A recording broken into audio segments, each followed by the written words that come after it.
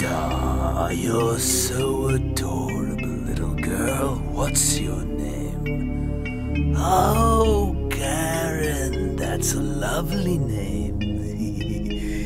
I have some candy for you if you could indulge Laughing Jack a moment of your time. You know, Karen, sometimes people run from poor old Jack. They find me awfully scary.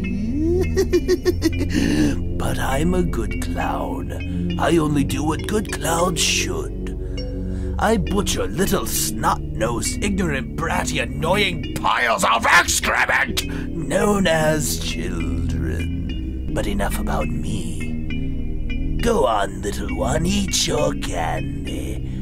That's what you useless little worms enjoy, right?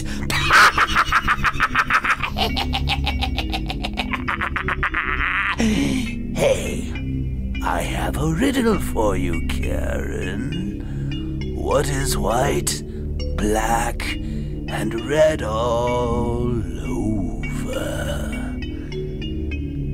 A newspaper? no, no. no. The answer is Laughing Jack after he cuts you open and decorates the bedroom with your insides.